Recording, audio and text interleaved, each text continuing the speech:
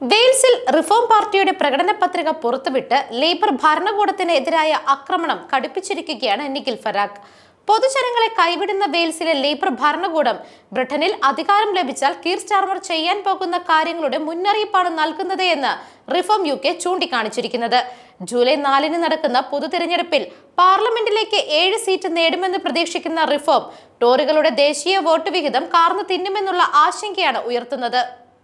Conservative വോട്ടർമാരെ ഒരുവിധം ചാക്കിലാക്കിയ ശേഷം ഇനി കീർ സ്റ്റാർമറിൽ ലക്ഷ്യം വെച്ച തങ്ങളാണ് പ്രതിപക്ഷമെന്ന നിലപാട് ഊട്ടിയുറപ്പിക്കുവാനാണ് നീക്കം.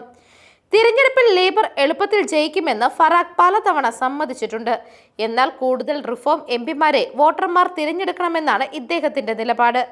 ബ്രിക്സിറ്റ് അനുകൂലമായി വോട്ട് ചെയ്ത വെയിൽസിൽ വർക്കിംഗ് ക്ലാസ് വോട്ടർമാരെ സ്വാധീനിച്ച് റിഫോം യു കെയുടെ നിലപാട് ഉറപ്പിക്കാനുള്ള അവസരം ബാക്കിയാണ്. പ്രത്യേകിച്ച് ഇത് വിശ്വസിച്ച് വോട്ട് ചെയ്ത ടോറികളും സ്വന്തം നാട്ടിലെ ലേബർ ഭരണവും ഇവർക്ക് അനുകൂല നിലപാടുകൾ ലഭ്യമാക്കിയിട്ടില്ല.